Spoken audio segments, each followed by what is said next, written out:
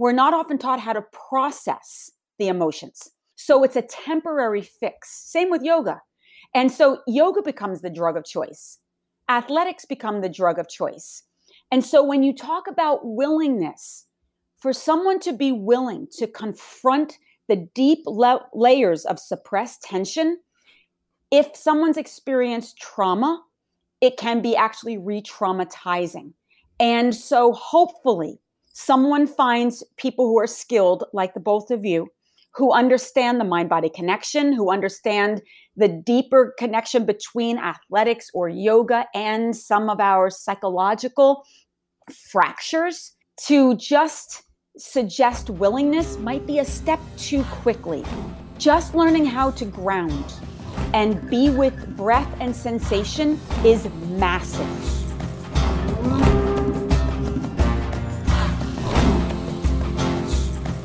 Welcome back to the Yogi Triathlete Podcast. This is the place where we share stories of people looking, finding, and living their purpose. I'm Jess, your host, and along with my co host, BJ, we are on a mission to create a better world.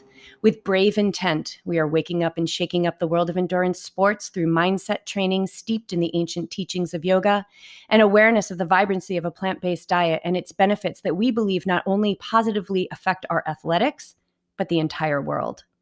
We see the hope, you guys. We feel the beauty, and we hold great vision for the uprising of humanity. I am beyond honored by the presence of our guests today. Seane Corn is one of the most celebrated yoga teachers on this globe. She is known for her social and political activism, and most recently, her first book, Revolution of the Soul Awaken to Love Through Raw Truth, Radical Healing, and Conscious Action. I have read this book gone back in for more. And I'm now currently fighting with BJ as to who gets to listen to it on our Audible account. Seane opens up the doors to her story and the profound teachings of yoga, not just as movement on the mat, but as a way of life and a pathway to transformation. In her 25 year teaching career, Seane has graced the covers of numerous magazines. She has helped to raise millions of dollars for underserved populations and has sat across from prolific leaders in our society like Oprah Winfrey and Deepak Chopra. Seane utilizes her platform as a means to bring awareness to global issues such as human trafficking, HIV, AIDS, social justice, and animal rights. But I think that Seane will be the first person to agree that all change must start from within. Seane Corn, welcome to the show. Thank you so much. I'm very grateful to be here. I look forward to this conversation. Yes, very much so. So we love to just dive right in. Sure. Right? Mm-hmm. So what is what is the work? What does that look like? Like what does it look like to say everything starts from within? How, how, does what does that even begin to look like? I, I think it's very individual. And I do believe the spiritual path meets you where you're at. So for some, the work is simply being more responsible, learning patience, presence, learning how to breathe or be in their bodies. For some, the work is confronting the, sh- the shadow self and looking at insecurity and jealousy and fears, including abandonment and, and internalized rage.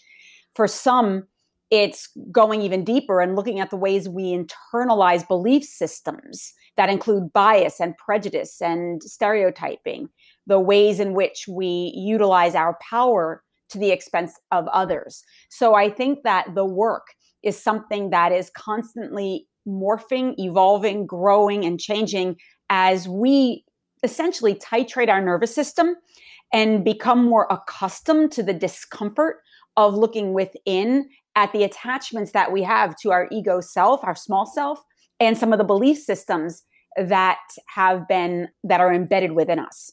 And so the work is a living thing. And it's ultimately, though, about taking accountability, surrendering your limited beliefs, and moving into a deeper relationship with the divine God as it dwells within and dwells within all equally. You're so on point with the fact that it just it's an ongoing story. It's always unfolding and and one of the things that I've come up against many times in this journey is oh man, I can't believe I was saying yelling that from the mountaintops 2 years ago. I would never do that now, you know, and that constant self-forgiveness that that goes along the way. But also the uh the ways we get tricked or we get blindfolded, it doesn't matter how long we're on the path. You know, I let me share an experience quickly that I had yesterday where I saw something that brought up the trigger, right? Uh, and of course, right, every trigger is an opportunity to heal. And I f- felt myself close the door and move on. Mm-hmm. And I thought, w- and think, thankfully, thank God that I saw that. And I said, oh no, that's not sitting with it. That's not feeling it. That's not breathing it. That's putting it, opening the vault, putting it in the vault, and closing it back down. I guess we would call that like a bypass, right? Mm-hmm. Where we yeah. bypass. How do we start to become alert to that? Or, oh gosh, like I said, it, we can be so, we can be tricked, right, by the mm-hmm. mind and the ego.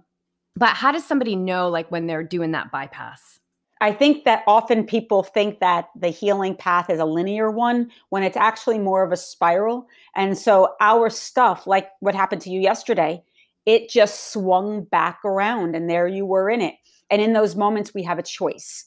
Do we react to it or respond to it? Do we approach it or reject it? And for whatever re- reason, in that moment, you, you chose to internalize it, old behavior, but you caught yourself quickly you that and to me that's the yoga it's that pause between the inhale and the exhale, metaphorically. It's that space where you are able just to realize that you were bypassing, you were avoiding the opportunity and the discomfort, as we do.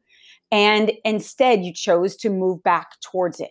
And I think that developing tools like yoga, meditation, prayer, therapy, the program, these are ways in which we can learn to identify the discomfort in our body, what these deeper messages are, and know that to avoid it means that it's only going to come back around again. And perhaps the next time we'll have even less willingness to approach it. The yoga practice lets us do what you did was be like, oh, okay, there it is. Let's orient towards that. But we're not taught this. It's not in our bodies. We're taught to deflect, to deny, to suppress, repress. We're taught to internalize and numb ourselves using food, sex, drugs, alcohol, all sorts of different ways. It's not actually organic to our nervous system to orient towards the discomfort because the discomfort in the subconscious can equal violence or abandonment or death. And so what the practice the practices give us is the opportunity to sit in the discomfort to recognize that actually what's on the other side of that discomfort is liberation. But we have to retrain our bodies, really our psychic musculature, to recognize that this is a positive thing, but we have to tolerate the discomfort. In the same way, someone who is, I'm sure, an athlete knows if they don't, if they're not working out for a while and they get inert and then they get back onto their bike or whatever training, and the lactic acid moves through the body it is an awful feeling. You feel nauseous and uncomfortable in your body. And there's a thousand messages in your head that say, not worth it. Let's quit. I can't do it. I'm too old. I'm too weak. I'm too fat. Whatever the mantra is that tried to sabotage.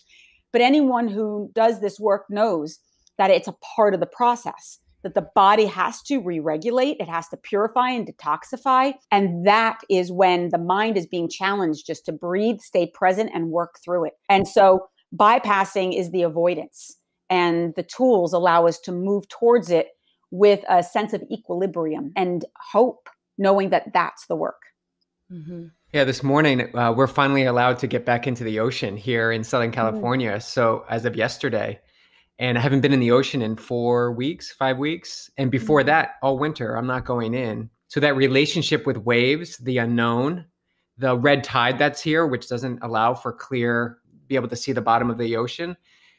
I felt the hesitation this morning in med- meditation, just not trying to find an out.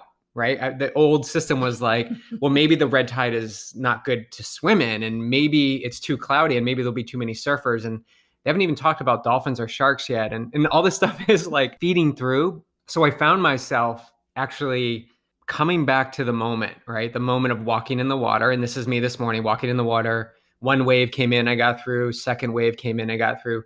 Third wave sort of knocked me a little bit and I had to adjust my goggles. But that's the point where I continued on and it was calm all the way out till we got past the surf. And so in the past, those experiences, as we're talking about, would shut me down because they're comfortable. I know it.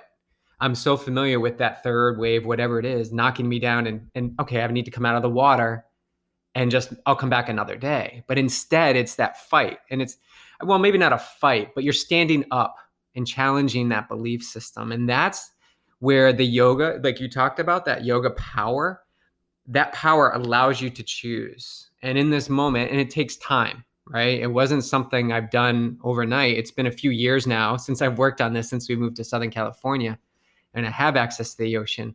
But that experience and just the experience today has up leveled the the brain waves in my mind that allow me to have confidence that it mm-hmm. doesn't matter all this stuff that's stirring up when it gets when you get to that point then you make a decision in that moment Absolutely. And most people aren't oriented to that kind of thought process because the sensation of the the panic or the overwhelm is so familiar that it feels safer.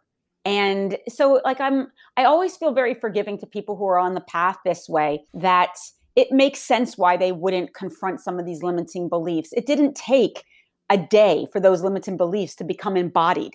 It's actually historical, ancestral, cultural, and it's not going to take five minutes for it to go away. But if we can sit with it and observe it and just own it. I mean, yesterday, no, not yesterday, a couple days ago, I had one of those, you know, one of these quarantine days of just by one o'clock, I was done. I had nothing. I was just going around the house, straightening things, starting like six different pro- projects. And I realized, like, okay, I'm uncomfortable. Stuff is starting to come up a little bit.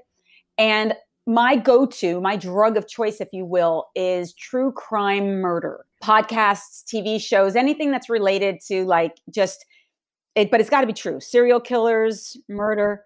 That's where I go to numb out. And I found myself going towards the room. And this is one o'clock in the afternoon. It is way too early for me to get into bed. And I just sat at the edge of the bed, turned the TV on, and I stopped myself and I said, You're going down this rabbit hole. At least own it. Don't like start like just dancing around it. S- say to yourself, and I did, I said, Yes, I am numbing out. I give up today. This is my drug of choice.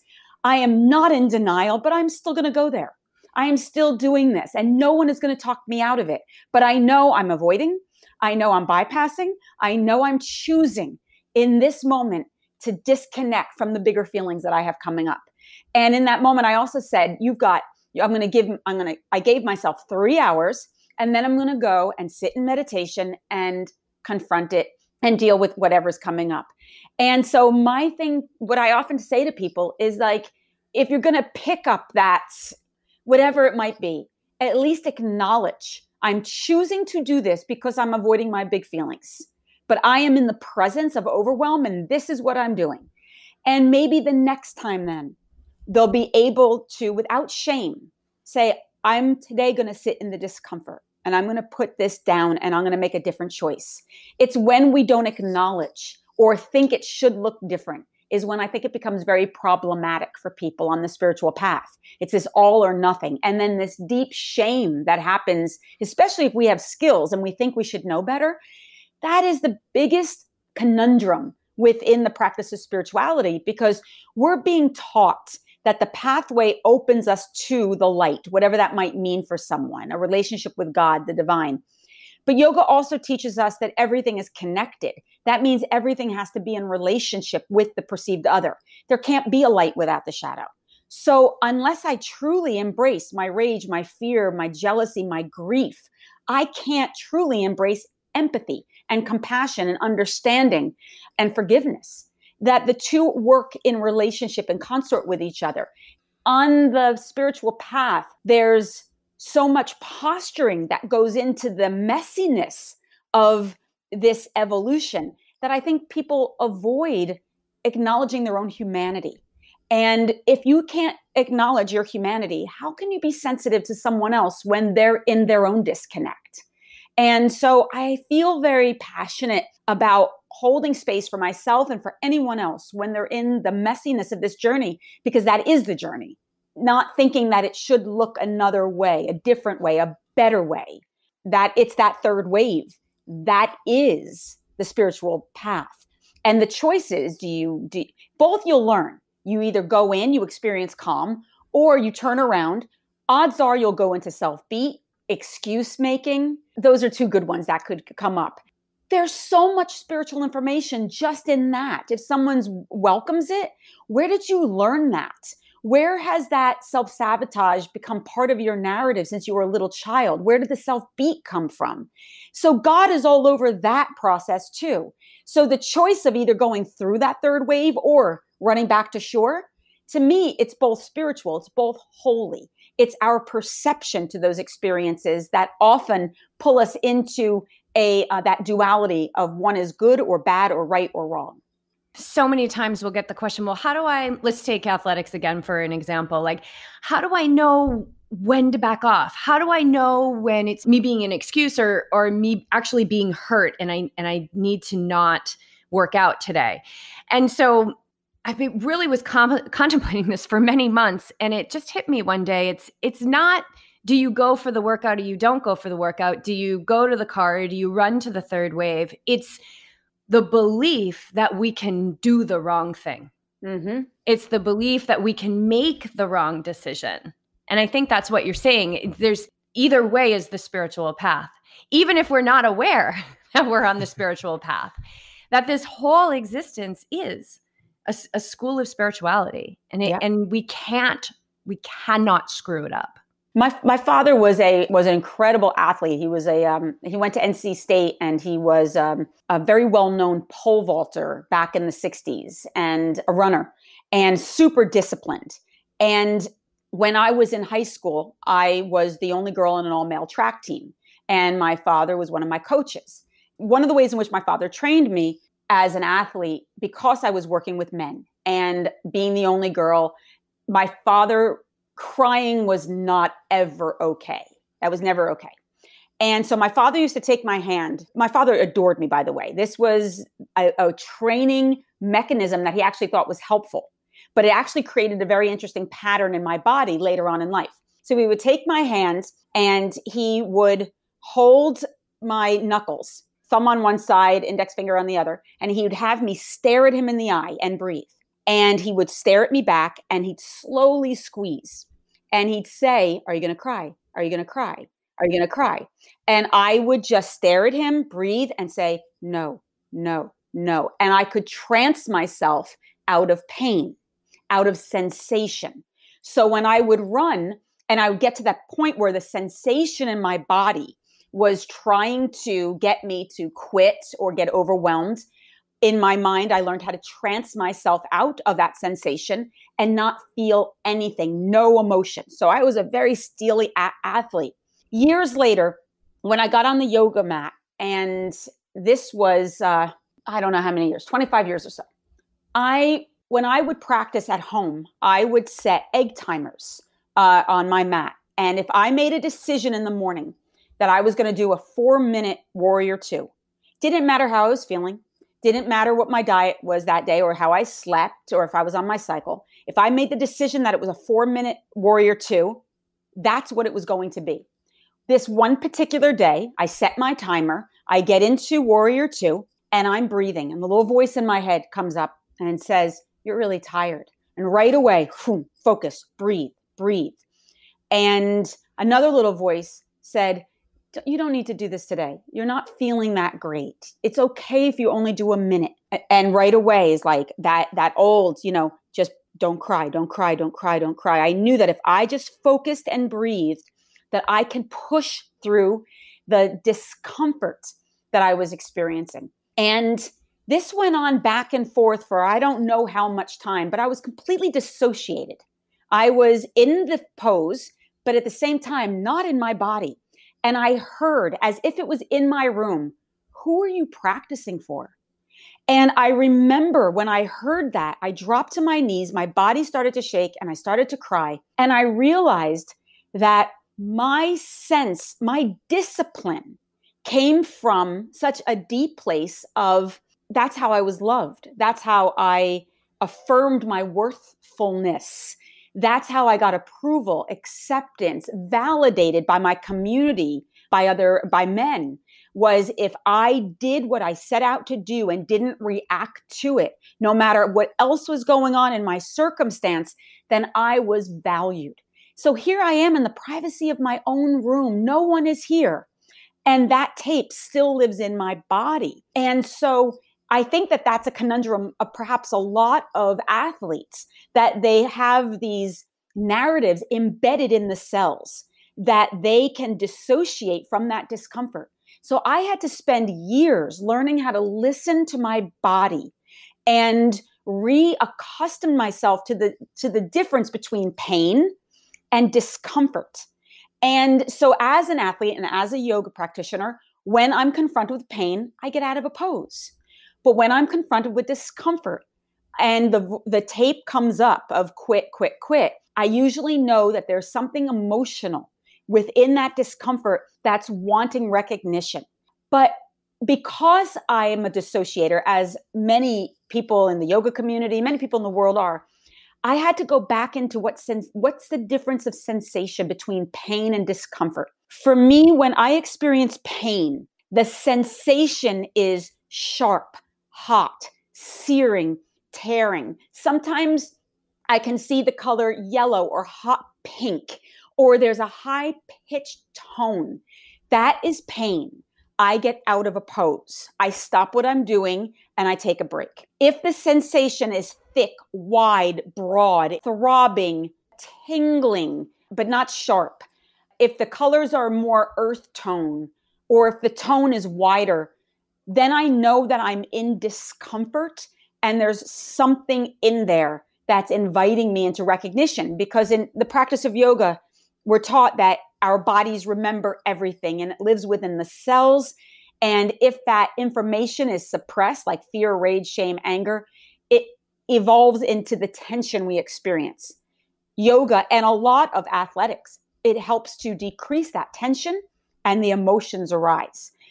So, pain, learning how to differentiate between pain and discomfort is very individual, but is necessary because one, you will get hurt, the other one, you will evolve. Beautiful words, beautifully articulated, and something that we very much teach on our end is, you know, noticing when we're enduring our life, when we're trucking through. Um, and a lot of times when we're enduring and we're trucking through, where the mind is, it's wanting another now. It's it's wanting the moment to change. And I think those moments are so important to stop but when we're, if we're in that sensation and we can still connect to the breath and we can, we, we teach like relaxing in.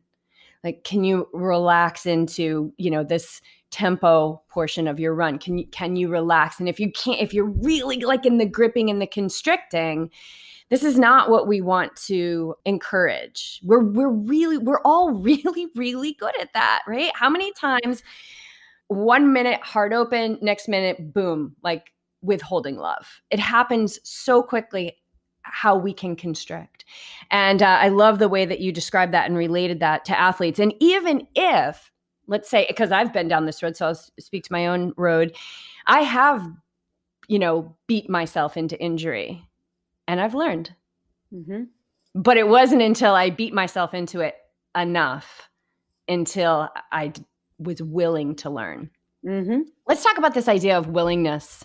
You know, sometimes we hear like, "Oh, I'm not ready," or "They're not ready," or "They're not ready," and who we truly are, like we're always ready, right? We're we're always the soul is is ready to roll.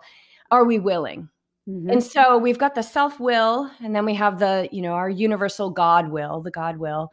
How important is willingness to this path in, in our dedication and our commitment to remain steadfast? Absolutely. Um, people are in trauma. And I think that that's something that, as a core, needs to be addressed first before willingness, because willingness could also rep- be representative of a, of a threat. Trauma is anything that overwhelms our, our capacity to cope and leaves us feeling helpless, hopeless, out of control, or unable to respond. Um, everyone experiences trauma. We often think of trauma as shock trauma uh, those big traumas that are unimaginable. But there's developmental trauma. And these are imprints that happen in our youth before we have the ability to assign words to those big feelings. So, bullying, death of a loved one, divorce, that can be traumatic uh, for a child. When we experience trauma, chemicals released from the brain, cortisol, adrenaline, flood into the body and put us into fight, flight, freeze, or collapse. The moment we experience that trauma and the body contracts in order to create control or safety, in that moment, that narrative has been imprinted within the cellular tissue.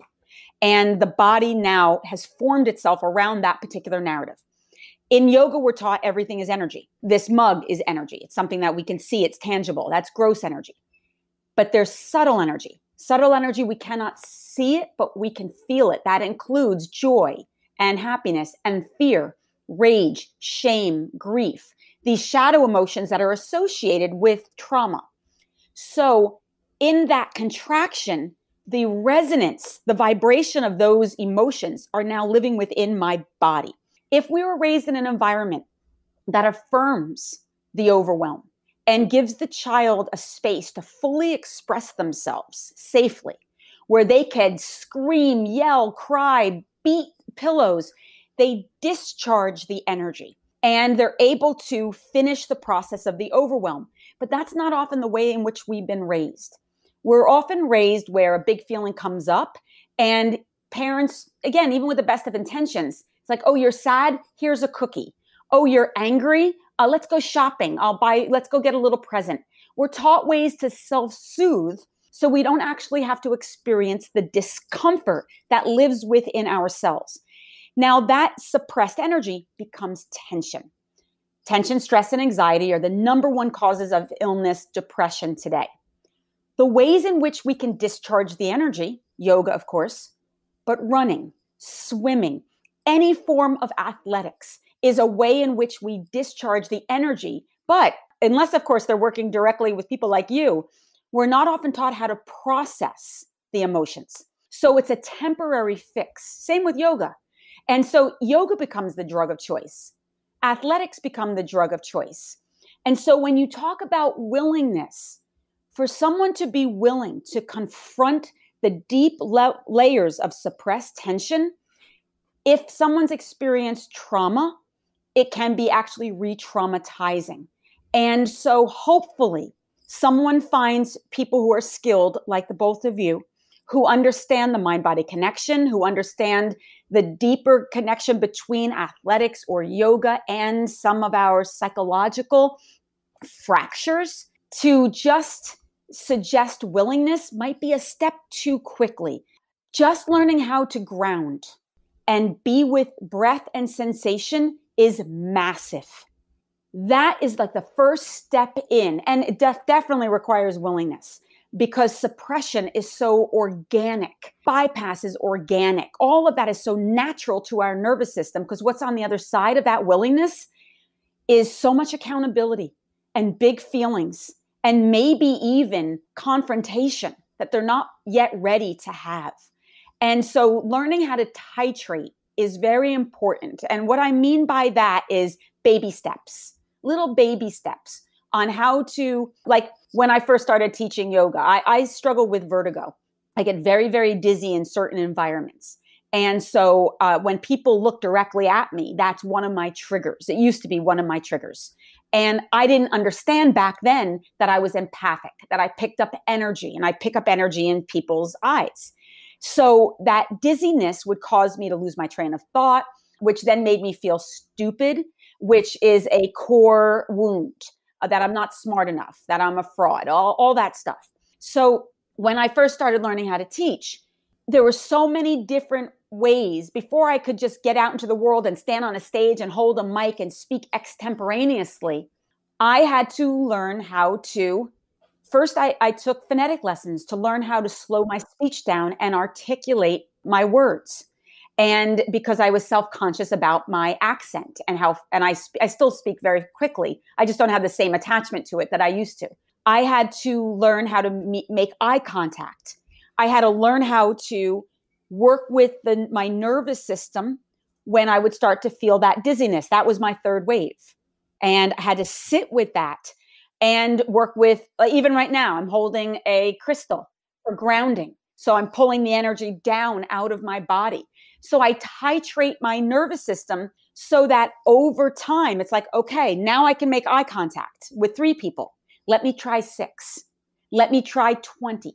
Now let me do a 100.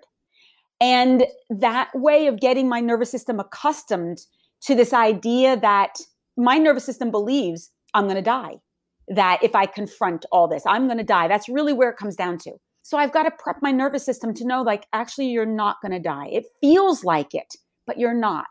So let's slowly start to climb this mountain and get our oxygen and, and take the breaks that are necessary before we scale to the top. And so, willingness, yes. But with that willingness, patience, surrender, acceptance, a good sense of humor, and forgiveness because you will backtrack again and again and again because it's part of the evolution. There's always another layer. Mm-hmm. Yeah. I mean, there's always another layer. Just when you think, okay, I can empty the dustpan, like I've got it all in there now, it'll come up. And it'll cut, and sometimes it comes up with a vengeance. Mm-hmm. Yes. yes that instant forgiveness in yoga teacher training that was one of the things i remember the first day when you're up there and our teacher would put us up there in front of people and you could see the the snowball effect of everybody like oh no that's the wrong like it, you can see it like you can visually see it. And the, the instant forgiveness was such a connection like okay so you said the wrong word. Okay well now say the right word. Like just continue to float like keep that momentum moving and have instant forgiveness with yourself. And it's not that you did a bad job or that you're not going to be good at this because that's what your your habit may have been and everybody will jump on board oh you'll get it you'll get it. No it's just continually move forward despite mm-hmm. despite whatever happened. It's that instantaneous momentum shift to just keep going forward. And looking at where did you learn that tape? That's that go to where did that self beat come from? Where you say a wrong word and all of a sudden you are so overwhelmed with shame and humiliation that's in the body. That's your childhood. And so the gift is it's getting mirrored back even in teaching. And so the opportunity then is to begin the process of transcending it. But you can't change it unless you see it. And that's again going back to what is the work? That's the work. Yeah, you can't I one of the most profound things I've ever read or heard is like you can't see it mm-hmm. until you see it. Yeah. Mm-hmm. And you can't see it until you practice creating that gap, that pause. For me, it was yoga. Obviously, it became our, our life's work, and not only just the way that we live our life, but our life's work. I want to switch gears a little bit. This conversation is so good, and I want to encourage everybody to read Revolution of the Soul and also watch the bevy of interviews with Seane so you can get more about her background and everything. I just I feel like you've talked about that a lot, but one thing I really want to give you a platform for today is talking about veganism, a plant-based diet, uh, its relationship to yoga, and what I would like is if you could share your story because I know you were vegetarian like in the 80s and then it was many many years until you went fully vegan. So, but again, a little bit, right? A little bit every day over a long period of time. Eventually, we find our way. So I would love for you to just open up and, and share that story with our audience. Sure. I you know, I grew up in a typical New Jersey town and meat was just a part of our staple diet and felt grateful um, that we were able to afford to eat meat and that that was on the table. And I didn't think twice about it. You know, the chicken nuggets. The nuggets weren't, I didn't see them as chicken. It was a nugget. I didn't see the patty as a cow. It was just a burger. And it wasn't until I moved to New York City, I moved around 17 years old. I worked at a place called Life Cafe, which uh, was run by a man named David Life, who went on to open Jivamukti Yoga. And now he and his partner, Sharon, Sharon was a waitress there. They are one of the most dedicated animal rights activists uh, in our nation. So while I was working at Life Cafe, when I first started there, it was not a, it wasn't even a vegetarian restaurant. David and Sharon started getting very deeply immersed in their yoga practice. David came back from India and made the decision that they were going to turn life into a vegetarian restaurant and no longer they, they would use dairy, but that was it. And I remember feeling really put off by this like this idea that he was imposing this newfound belief onto every, all, onto me, onto the customers. You know, how was I going to get my protein? That was my big thought. Like, how am I going to get my protein? And not too shortly after that, when David went vegetarian in the restaurant, I was at a friend's apartment, and I'm about 18 years old. I'm flipping through a book uh, called In the American West by Richard Avedon. And it was black and white photographs of working class folk throughout the United States, just at work. And I get to this one picture that clearly changed the direct the trajectory of my whole life because it is a person wearing coveralls. You can't see their face. And the reason you can't see their face is because they work in a slaughterhouse and they had taken the freshly cut head of a cow and put it over their own head like a mask. And in the photograph, the, t- the cow's eyes are open, the tongue is hanging out, and there's blood coming from the neck onto the body, the human body. And something about this photograph stopped me in my tracks because the juxtaposition between this cow's head over a human body, it suddenly occurred to me that this cow had relationships, had family, knew love, new grief, new terror. And by the look in the eye of this animal, new terror the second it was slaughtered. And that terror was still clearly evident in this animal's eyes. And that was it for me. I never had any, uh, at that time, it was like I was off uh, red meat and never looked back. But I still ate chicken and fish and I would say it was just a couple of years later where I couldn't justify the chicken. And then I couldn't justify the fish. And then leather. And then finally dairy. It was one thing after another. My brain was a little slow. It was like, wait a second, what's the difference between that chicken and that cow or that fish and that cow? But it took it took a little a, a little while for me to finally eradicate all of it from my habit and from my and it was a habit. It was a, an addiction especially dairy that just an addiction. And also dairy was difficult to let go of. At home i would be able to practice a vegan diet. But you know 20 years ago when i was traveling i mean i'm still traveling all the time but then if i had to go teach a workshop in kansas if I look to get a vegan meal at the Holiday Inn in the middle of Kansas, what that would consist of was uh, iceberg lettuce with some shaved carrots on top. And so I couldn't sustain because there weren't whole foods. They it's not like it is now. And so on the road I would have to deal with dairy and I'd be like, "Okay, I'm going to be okay with it on the road, but I at home I'm going to be a vegan." Until I couldn't justify that anymore either. And I just had to start bringing my own food with me. And it was very inconvenient. And then the world started to change a little bit. And now there's really no place that I go that I can't and don't have access to really good food. It's amazing how the world has changed. But it definitely took my body a while to let it go, my psyche a while. I've been a vegan for a very, very long time now. And I've also learned how to eat in a way that gives my body what it needs in terms of protein and iron to be able to supplement it. And I think that that's the problem with a lot of people want to go vegan is that they haven't taken the time to learn how to eat in a balanced way that's nutritious and they're lazy vegans. And then they tell they come to me and they say you know i need my protein and i get anemic. And i said yeah i would get anemic too if i was just eating like fake meat every single day and, you know, like processed foods.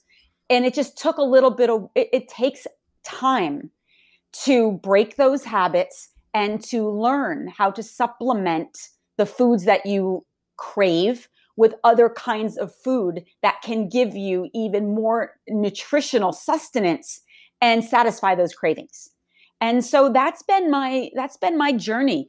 Being a yoga practitioner also helped to support my commitment to veganism because of the principles of the practice are do no harm. So as a as a very committed yogi, I cannot justify giving love and like I can't justify being selectively conscious.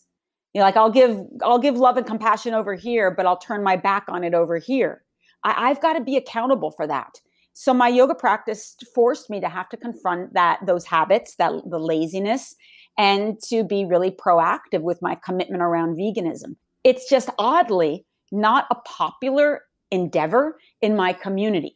People are very, very, as you know, get very emotional and very committed to their meat eating. And it's uh, very difficult to be in that conversation, even in the yoga community, without people getting incredibly defensive over those choices. So I just rely on the texts, and the texts tell me do no harm, and that's what I choose to do, and that's what I'll teach. I think it was Gandhi that said, you know, the greatness. of course, I'm paraphrasing here, but like the greatness of a nation is is how we treat our animals. Yes. Mm-hmm. And yeah. I admittedly experienced a little bit of heartbreak at the beginning of all of this. We went to the store, and you know, of course, the produce is full and the meat section is empty. Mm-hmm. And yeah. We just put a higher demand on mm-hmm. that industry. Then I've caught wind that you know the government is you know going to be purchasing a lot of this meat and dairy. How do you rectify that in your heart? it's uh, i mean i process it it's very it's very saddening and i sit with that grief and my hope is just like everything that even as a nation we are in this trance and the trauma that we've been inflicting onto animals and then ingesting that trauma it karmically has uh, an effect that i think is very evident in our culture it's a violent culture a suppressed culture a divided culture. And all I can do is live as an example and teach the principles and invite people into a conversation that asks them to take responsibility for the choices that they're making.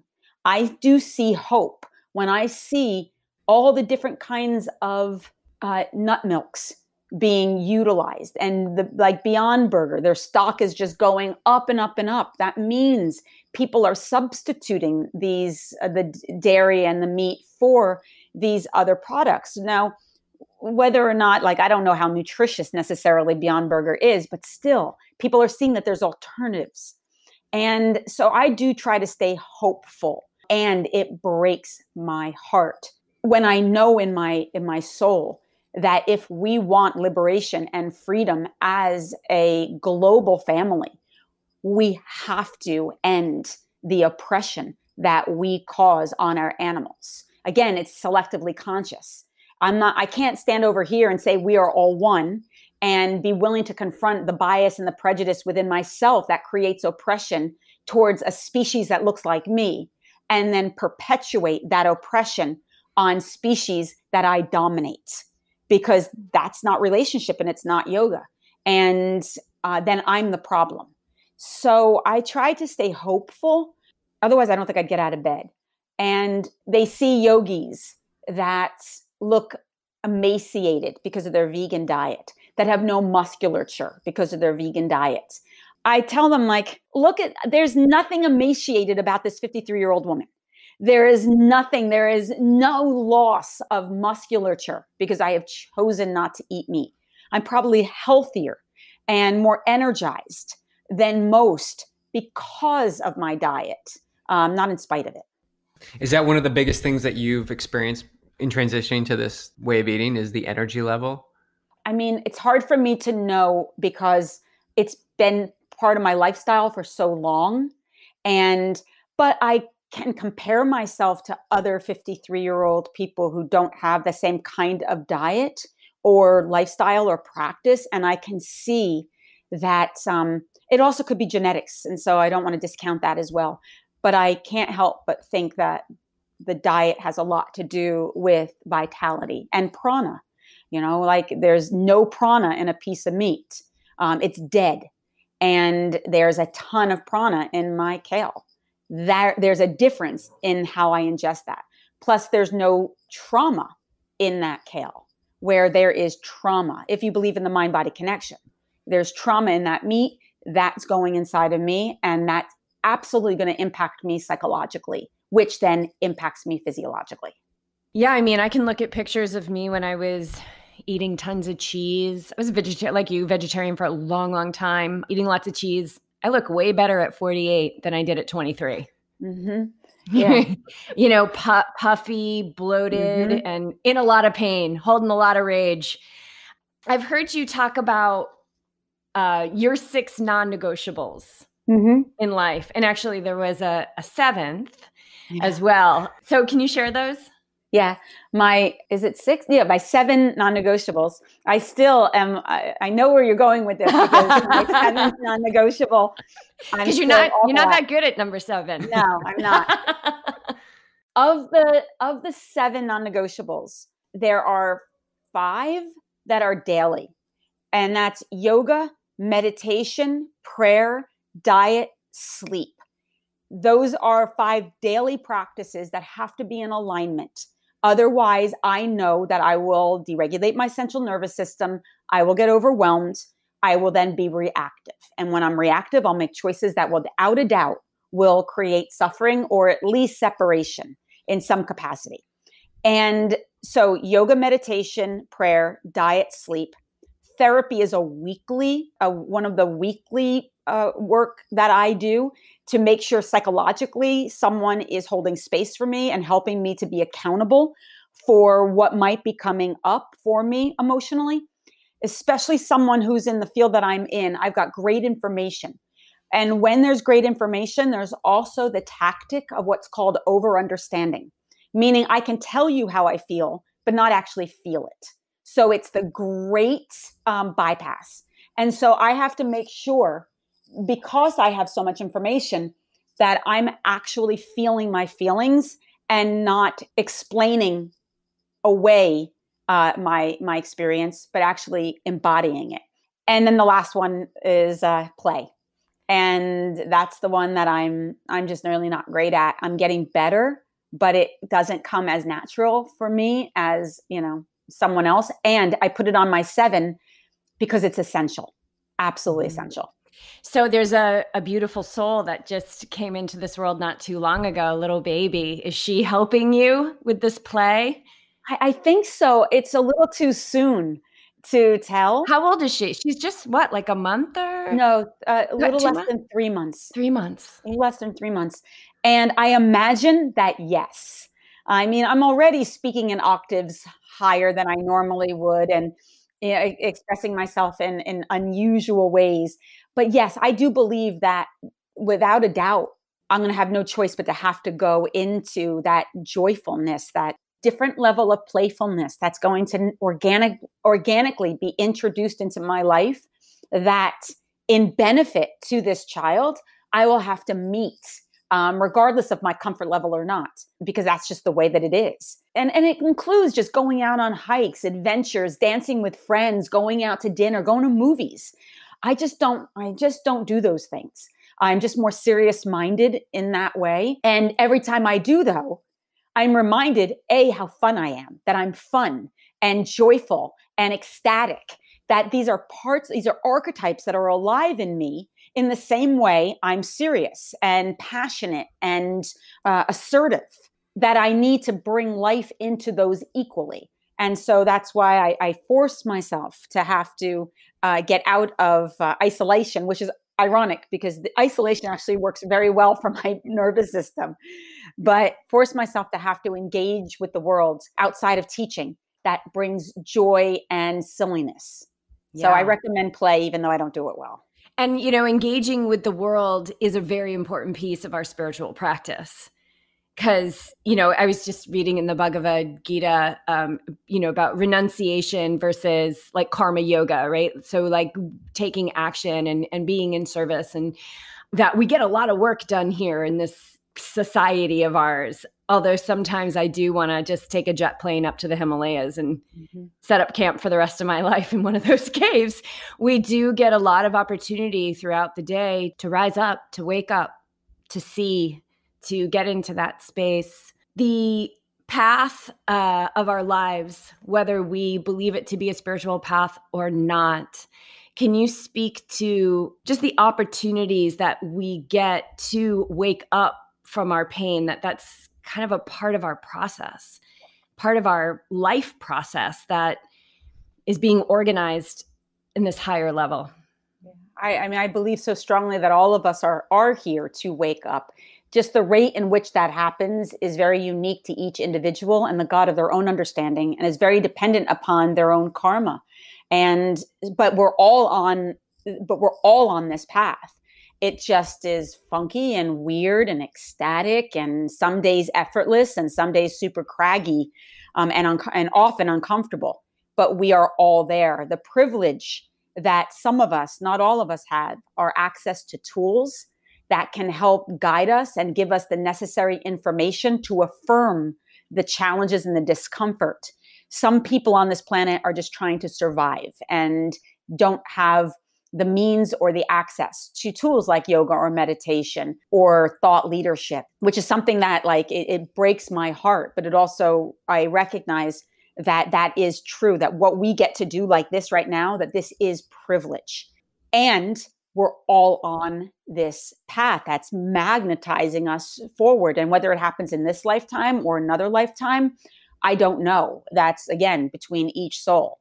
What I do know is that I will never take this for granted.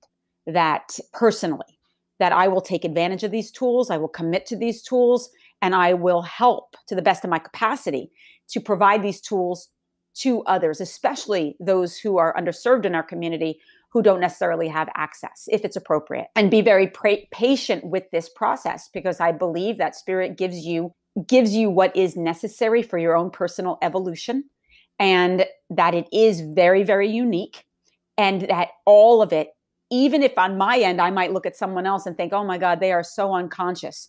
I also have to recognize that they are exactly where they're supposed to be in this moment, learning the necessary lessons that are going to transport them in time when their nervous system and psyche become more integrated. It just on my end looks like come on like let, let's wrap this up already. But then what they're mirroring back to me is my judgment. And so that's spirit's way of saying oh really? You're so you know you're so enlightened and you know look at you and so i try to stay on my own side of the street utilize the tools provide the tools recognize the ways in which i stand in judgment or assumption towards someone else and also simultaneously recognize that the spiritual path itself is not a privilege that that's accessible to all. But the tools that allow us access into that more sophisticated mode of understanding that is privileged and so i want to make sure that we like even podcasts like this that there's going to be an athlete that's on this po- podcast who's going to hear something in a very, very different way that actually might impact the way in which they experience their own trauma. They're then going to go home and maybe read a book. That book is going to influence the way they choose to raise their children. And so I might not have a sense of the impact, or we might not have a sense of the impact our words um, have. And yet, our commitment to being as authentic to those words and to our own path is intrinsic to the collective waking up. So when I look at this idea that yes, we are all waking up, I have to remind myself every day that all of us are a piece of this energetic puzzle, if you will.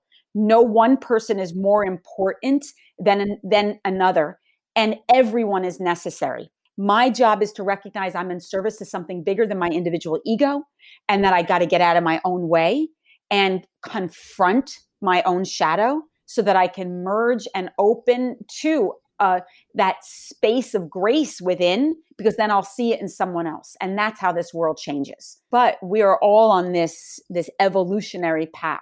At least that's how I. That's what I carry with me. Yeah. So someone listening to this, they're going to be inspired. I can tell you, they're gonna, they're gonna, you know, they're gonna feel a tug at their heart, and someone who maybe isn't on the path yet. You know, we're all moving that way, but they're not. They haven't boarded the train yet. What's what's something looking back at your life and seeing where you are now something maybe you would have recommended to your to your younger self of how you can maybe dip your toes into moving forward because you know i wish i had someone that would maybe just give me a little tip or a little hint. And i know it's the process and you've got to be willing and and um, you got to be all in and this is something you really need to do if you want the true change. But how can you begin maybe to push that rock down the hill to, to build some momentum? Trusting the process is very important and being patient knowing that the messiness is an essential part of the pathway. But i also know that when I first started doing yoga, it was purely a physical experience for me. It was not emotional and it certainly wasn't spiritual. I was an atheist. I just wanted to feel healthier in my body. And I was that person who did those extra push ups. I was the person who would rip up the mat before Shavasana because I couldn't tolerate just sitting there. I had to get on with my day until one day, just in a yoga pose, the sensation became so intense that all this emotion that had been so internalized and suppressed came pouring out of me. I could easily look back at those eight years prior and be like, I wasn't really doing yoga.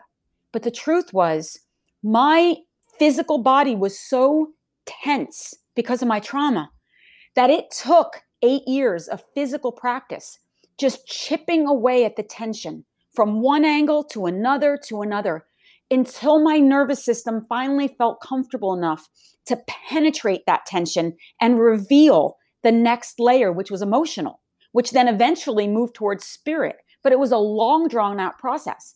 But I look with so much gratitude to those first eight years. I was being prepped. It was an essential part of this evolution. But to someone else's eye, they would have thought that I was like, oh, she's just here to get a better butt. Yeah, I was. I didn't know what it was also going to do was open my heart. Um, I wasn't prepared for that. So, my hope is anyone who's listening, just trust. If they're listening to you, they're already aware that there is more to their inner life than they've been able to articulate openly because you're affirming what they already know inside their soul. There's nothing that we're saying that people don't know, but fear, trauma, overwhelm, ego block that light. When what they're hearing, it's little seeds being planted where they know, but they don't know yet. And my hope is like, be patient enjoy this ride. You're going to look back and wish for those years of unconsciousness because once you start to wake up, it's it gets even more uncomfortable and weirder. And so I hope that they trust themselves that if they're paying attention to conversations like this, they're already being magnetized forward. And so just breathe be at ease, go into places of stillness, celebrate the messiness, and trust that there is something way bigger going on than that firm butt or those loose hamstrings. And if they can stay with it, it's these practices move us past the body and into a deeper relationship with God, the but God that's already within. And that's when the shit gets good. Perfect. Beautiful, beautifully said. And if you guys want to practice with Seane, I actually downloaded your um, from Seane, seanecorn.com, downloaded a practice this morning and did that before our interview while I was had the voice in in my head saying you really need to be preparing. You re, like you know following her since the 1990s is not enough. Like you really need to prepare. You should listen to another podcast. You should read back through the, what you wrote for the intro to and I was like, what better way to prepare for my podcast with Seane than to practice yoga with Seane? And it was so beautiful. So thank you for that gorgeous practice and for uh, helping me once again shine the light on blind spots. Uh, which yoga just continues to do. And people like you will uh, continue to hold that light for us. And like I say, never dim it don't lose that accent. Don't lose that east coast edge. It's it's all makes you your in your individuality. And you know as you know we need you. We need you to be more of you. Just like we need bj to be more of bj and me to be more of me so that we can recognize that we are all the same. Yeah right on. Right on. Yeah thank you for that read Seane's book or listen to Seane's book, Revolution of the Soul. Gosh, you can just put in her name, S E A N E C O R N, and you will get plenty of resources. Really, really grateful for your time today. Thank you so much for being here. Thank you both so much. I enjoyed this conversation thoroughly. Truly, it touched my heart. So thank you. God bless. God bless.